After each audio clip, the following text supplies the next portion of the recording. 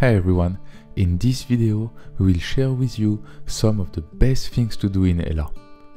From one of the most beautiful train rides in the world to get there, breathtaking hikings at Ella Rock and Little Adams Peak, lovely encounters with the local wildlife, stunning location in the jungle with 9 Arch bridges, delicious food to try and restaurant to visit, and so much more. So if you too are planning a trip to Ella, this video is for you. The Blue Train to Ella is one, if not the most famous attraction to do in Ella and even in Sri Lanka. You can take it from Kandy, but we would recommend shortening it to the best part from Nuwara to Ella. The train offers such stunning view, and the best part is that in second and third class you can pop out of the windows and even the doors.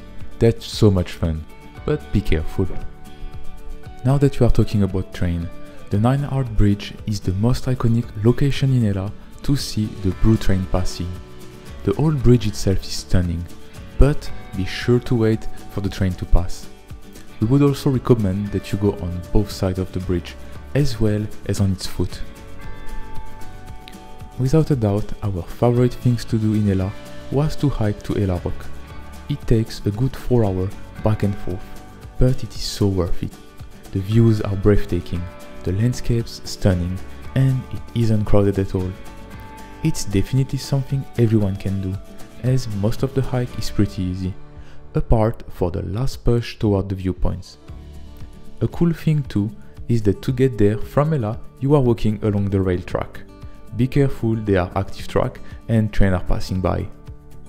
And on your way back from the viewpoint, be sure to stop for a fresh coconut you deserve it. To continue with the hiking, Little Adams Peaks offers a more moderate and a more touristy hike.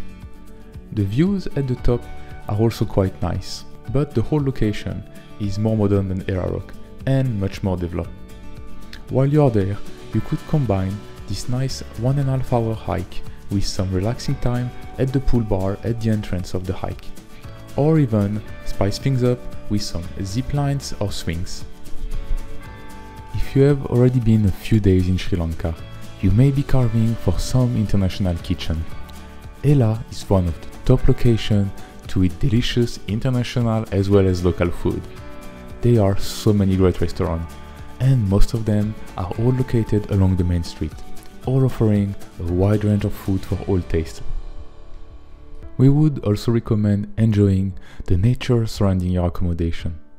Ella is fresher than the rest of Sri Lanka yet in the afternoon it can get pretty hot. If you can have some chill time at your accommodation and even by the swimming pool, that would be a game changer in your experience. Plus, most of them are located in such idyllic settings. And be sure to take time to spot and admire the wildlife. We are so fond of chipmunks. They are so nice and fun to see. But you can also see big lizard and peacocks quite easily. Another thing that you can do is visit the cute little shops in Ella. There aren't that many, but it's worth a visit.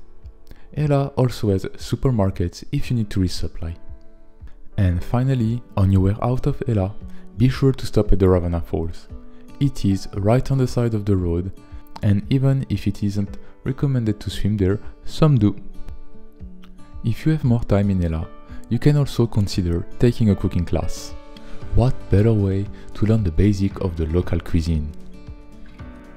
And if you haven't visited a tea plantation yet, you can consider a day trip to visit Lipton Seat and combine it with the Diyaluma Falls, where you can apparently bath inside a little poof on top of the waterfall.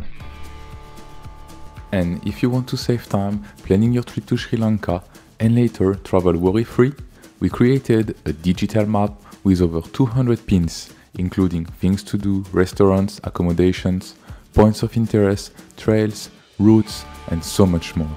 With this map, you will have all the information you need to travel in Sri Lanka. And guess what? It works on Android or Apple phones as well as PCs. In bonus, you get lifetime access as well as all the future updates. So if you want to know more about our Sri Lanka travel map, we put a link in the description.